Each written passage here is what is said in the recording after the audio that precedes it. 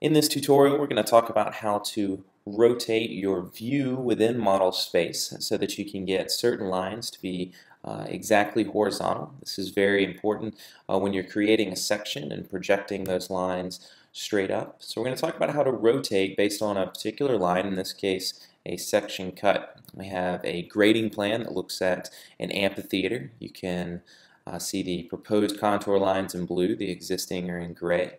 We've got a sidewalk that sort of wraps around the bottom half of this. Uh, the stage for the amphitheater, of course the terraces, uh, then move uphill, and the parking lot at the top of the hill. We've got a section cut line, and we want to rotate the entire drawing uh, to where this section line is exactly uh, horizontal. This will allow us to project lines up in creating our section uh, directly above the site plan itself.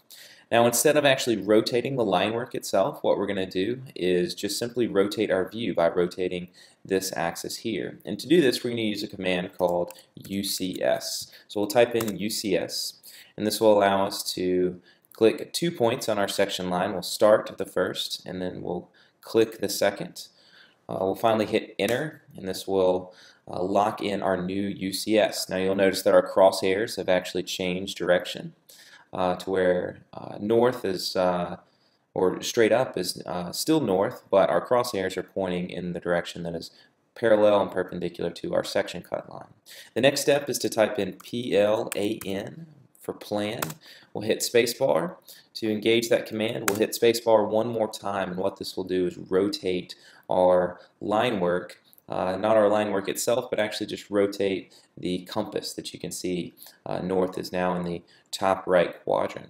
This will allow us to uh, take our section line, uh, copy this directly up into space, and begin to project up lines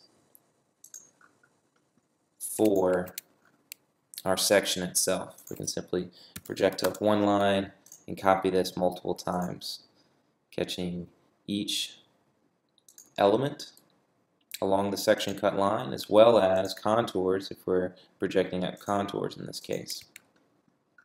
Now we'll continue sort of our traditional uh, section techniques uh, but once we've completed this entire thing we'll want to rotate our drawing back to where north is directly up. To do that we'll simply follow the same steps typing in UCS and instead of clicking a line we'll simply type W for world this will rotate our crosshairs back to where north uh, is directly straight up. We'll then type in plan, P-L-A-N, and again hit spacebar twice, and this will rotate our drawing. You'll see our line work is still projected up off to the side. This will be really helpful as you're creating sections and you need to rotate your drawing to pull those lines directly up. Even if you're using multiple section lines, you can continue to change the UCS and rotate your plan or your view of the plan uh, using the PLAN spacebar spacebar command.